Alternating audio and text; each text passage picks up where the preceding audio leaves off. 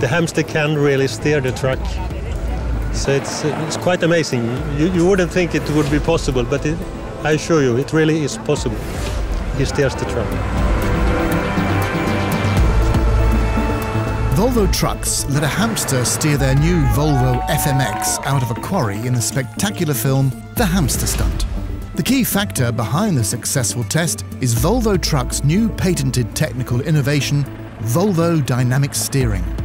But how does this new feature actually work? The benefits for an ordinary driver is that when you're driving slowly, the steering wheel is very light, and then when you go up in speed, it will be heavier. Volvo Dynamic Steering improves the truck's maneuverability through a precisely controlled electric motor. The motor is controlled 2,000 times per second based on the input from the driver and the onboard sensors. At high speeds, Volvo Dynamic Steering diminishes the effects from road disturbances and side winds.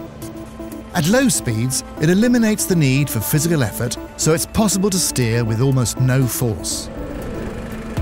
Charlie the hamster only weighs 175 grams. Volvo said they've got this hamster that they want to drive a truck. So initially, yeah, of course, I said, well, how's that going to happen? And I went out to Sweden, saw this lorry, tried the steering and everything on it, and said, yeah, it's incredibly light. Yeah, the hamster can drive this truck, so I will have to produce a hamster wheel in order for him to run in. So, yeah, very strange, but very true. Volvo Dynamic Steering doesn't make life easier for just Charlie the hamster. It creates a safer, more comfortable, and an easier everyday working environment for all truck drivers. The whole uh, driving experience will be uh, much more comfortable for the driver, I would say.